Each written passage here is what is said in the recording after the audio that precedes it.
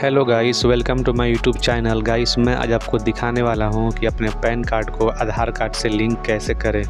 तो गाइस मैं हूँ अभी अपने लैपटॉप की स्क्रीन पे और मैं आज आपको लाइव प्रूफ पैन कार्ड को आधार से लिंक करने का बिल्कुल कंप्लीट प्रोसेस बताऊँगा। तो चलिए वीडियो को शुरू करते हैं। सबसे पहले अपने आ जाएँगे क्रोम ब्राउज़र में और यहाँ पर सर्च कर लेंगे इनकम टैक्स।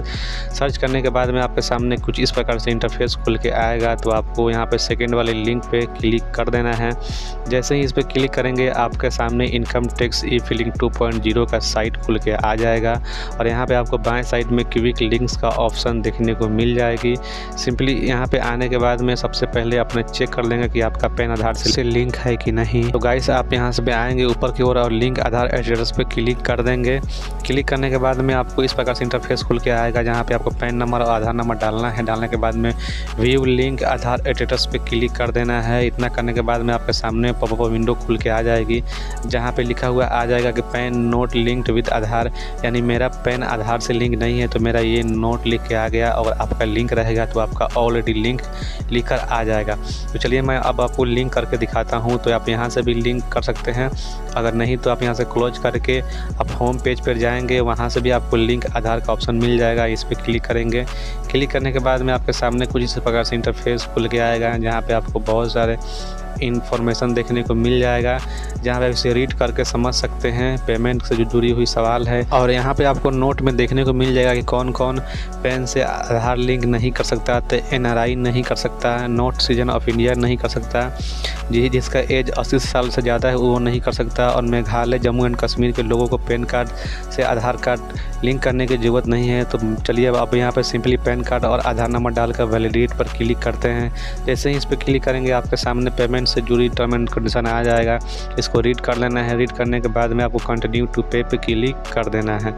जैसे ही इस पर क्लिक करेंगे, आपके सामने कुछ इस प्रकार से ऑप्शन खुल के आएगा, जहाँ पे आपको दोबारा दोबारा से पैन नंबर डालना है फ़र्स्ट में और कन्फर्म में डालना है, और उसके बाद मोबाइल नंबर डालने के बाद में कंटिन्यू पे क्लिक कर देंगे।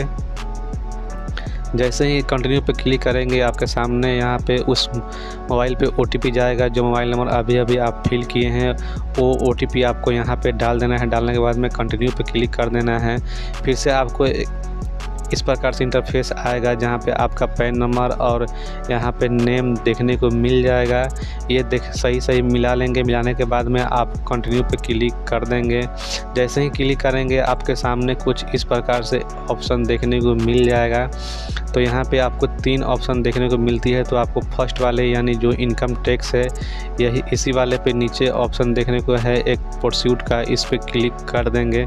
जैसे ही इस पर क्लिक करेंगे, आपके सामने कुछ अलग प्रकार के विंडोज़ खुल के आएँगे जहाँ पे न्यू पेमेंट करने का ऑप्शन है तो यहाँ पे आप असेसमेंट ईयर चूज़ कर लेंगे।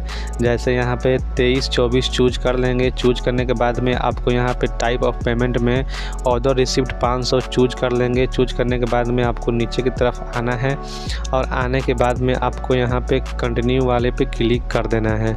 जैसे ही इस पर क्लिक करेंगे, आपके सामने इस प्रकार से पेमेंट का समरी आ जाएगा और यहाँ पर आप देख सकते हैं, नीचे की तरफ़ हमको टोटल एक हज़ार मिलाकर यहाँ पे हमें पे करना है। अब सिंपली आपको यहाँ पे कंटिन्यू पे क्लिक कर देना है। जैसे ही क्लिक करेंगे आपके सामने कुछ फिर से इस प्रकार से इंटरफेस खुल के आएगा जहाँ पे आपको पेमेंट गेटवे का ऑप्शन मिल जाएगा कि आप किस के माध्यम से पेमेंट कर सकते हैं। तो यहाँ पे बहुत सारे हैं debit card internet banking order भी है और यहाँ पे पेमेंट गेटवे भी है। तो आप इसमें से किसी भी एक पर कर सकते हैं। तो मैं यहाँ से पेमेंट गेटवे से पेमेंट करने वाला हूँ तो मैं इस पर क्लिक कर दूँगा और यहाँ से पे तीन बैंक दिखा रहा है। तो इसमें से कोई भी एक बैंक आप सेलेक्ट कर लेंगे। सेलेक्ट करने के बाद में यहाँ पे कंटिन्यू पे क्लिक कर देंगे कंटिन्यू पर क्लिक करने के बाद में आपके सामने कुछ इस प्रकार से फाइनल समरी खुल के आ जाएगा और नीचे में टोटल अमाउंट दिखा देगा कि आप एक हज़ार पे करने वाले हैं। अब उसके बाद में आपको पे नाव पर क्लिक कर देना है। जैसे ही क्लिक करेंगे, ये आपके सामने टर्म एंड कंडीशन आ जाएगी खुलकर। ये आपको रीड कर लेना है और यहाँ पे आई एग्री पे क्लिक कर देना है। उसके बाद में सबमिट टू बैंक पे क्लिक कर देना है। जैसे ही क्लिक करेंगे, आपके सामने ये ले जाएगा अब पेमेंट मोड पे। आपको यहाँ पे किसके थ्रू पेमेंट आप करेंगे? नेट बैंकिंग या यूपीआई डेबिट कार्ड तो आप यहाँ से कोई भी चूज़ कर लेंगे। मैं यहाँ से यूपीआई से करने वाला हूँ तो मैं यहाँ यू पी सेलेक्ट कर लूँगा। अब यूपीआई से फ़ोनपे गूगल पे भीम पेटीएम किसके माध्यम से करेंगे तो मैं गूगल पे से करूँगा। तो गूगल पे में मैं क्लिक कर दूँगा। उसके बाद में आपके सामने यहाँ पर देखने को मिल जाएगा। यूपीआई नंबर डालने का तो मैं यू नंबर डाल के वेरीफाई कर दूँगा। उसके बाद प्रोसीड पर क्लिक कर देंगे। जैसे ही प्रोसीड पर क्लिक करेंगे, ये आपका पेमेंट गेटवे आपका गूगल पे ऐप जो भी है आपके मोबाइल में, वो उस पर रीडायरेक्ट कर देगा। वहाँ पे एक नोटिफिकेशन जाएगी। उस नोटिफिकेशन को आप क्लिक करके वहाँ से एक हज़ार रुपये पे करेंगे। जैसे ही पे करेंगे, ये ऑटोमेटिक यहाँ से बैक हो जाएगा। बैक होने के बाद में ये बैलेंस वहाँ से कट के और आपको यहाँ से एक रिसीविंग मिल जाएगी और रिसीविंग आपको यहाँ पे देखने को मिल जाएगा। और देखिए यहाँ पे ये बैक हो चुका है और आपको यहाँ पे देखने को मिल जाती है कि चलान पेमेंट इज़ सक्सेसफुल, यानी आपका जो भी पेमेंट था वो सक्सेसफुल हो चुका है और और दाएँ साइड में आपको यहाँ पे डाउनलोड का ऑप्शन देखने को मिल जाती है। यहाँ पे क्लिक करेंगे तो आपका वो पेमेंट का जो भी रिसीविंग है वो मिल जाएगा देखिए डाउनलोड हो चुका है। और सिंपली इस पर क्लिक करके आप यहाँ पर रिसीविंग देख सकते हैं। मैं नाम, पैन नंबर और डेट ऑफ़ बर्थ और चालान नंबर बिल्कुल यहाँ पे आपको डिटेल्स में पेमेंट का मिल जाएगा। आप इसे रीड कर सकते हैं और अपने पास रख सकते हैं। उसके बाद में आपको बैक आ जाना है और चार से पाँच दिन वेट करना है। तो गाइस आप चार पाँच दिन वेट करने के बाद में आपको फिर से इसी साइट पे आना है और यहाँ पे आपको क्विक लिंक में आपको लिंक आधार का ऑप्शन देखने को मिल जाएगा। सिंपली इस पर क्लिक करेंगे। जैसे ही क्लिक करेंगे, आपको फिर से पहले जैसे ही इंटरफेस खुल के आएगा, लेकिन आप घबराएँगे नहीं। आपको यहाँ पर फिर से पैन नंबर और आधार नंबर डालना है। डालने के बाद में वैलिडेट पर क्लिक कर देना है। जैसे ही इस पर क्लिक करेंगे, इस बार आपको पे करने का ऑप्शन नहीं है। जो भी पहले पे कर चुके हैं, उसका सारा समरी खुल के आ जाएगा।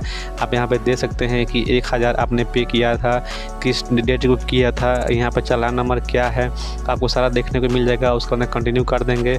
उसके बाद में आपको सामने कुछ इस प्रकार से इंटरफेस खुल के आएगा, जहाँ पे आपको जैसे आधार कार्ड पे नाम है, वहाँ पे डाल देना है, एक मोबाइल नंबर डाल देना है और नीचे आई एग्री पे क्लिक कर देना है। इतना करने के बाद में यहाँ पे लिंक आधार पे क्लिक कर देना है, जैसे लिंक आधार पे क्लिक करेंगे, आपके सामने ओटीपी का ऑप्शन आ जाएगा, जो भी आप मोबाइल नंबर दिए हैं, उस पर एक ओटीपी गया है, वो ओ टी पी यहाँ पर डालकर वैलिडेट पर क्लिक कर देंगे। जैसे ही क्लिक करेंगे आपका ये रिक्वेस्ट यू के पास चला जाएगा। और ये दो से चार दिन दिनों में आपका पैन कार्ड आधार से लिंक कर दिया जाएगा। तो गाइस इस तरीके से आप पैन कार्ड को आधार से लिंक कर सकते हैं और ये दो चार दिन के बाद आप यहाँ पे आएँगे इसी साइट पे और इसका स्टेटस चेक करके देख सकते हैं। तो गाइस कैसा लगा ये वीडियो? कमेंट सेक्शन में ज़रूर बताएँ और हमारे चैनल पर नए हैं तो फिर लाइक सब्सक्राइब ज़रूर करें ताकि ऐसे ही नॉलेजेबल और इन्फॉर्मेशनल वीडियो देखने को मिलता रहे।